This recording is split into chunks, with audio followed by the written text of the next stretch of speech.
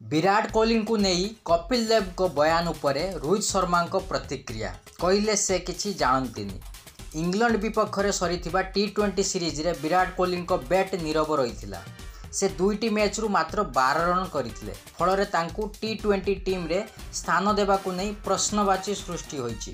ଖରାପ ଫର୍ମ ପାଇଁ ତାଙ୍କୁ ଟି ଟ୍ୱେଣ୍ଟିରୁ ବାଦ୍ ଦେବାକୁ ଅନେକ ପୂର୍ବତନ ଖେଳାଳି ମତ ଦେଉଛନ୍ତି ନିକଟରେ କପିଲ ଦେବ ମଧ୍ୟ ବିରାଟକୁ ବାଦ୍ ଦେବା ଉପରେ ପ୍ରତିକ୍ରିୟା ଦେଇଥିଲେ। ଏବେ ଅଧିନାୟକ ରୋହିତ ଶର୍ମା ବିରାଟଙ୍କ ପାଇଁ ବାହାରିଛନ୍ତି।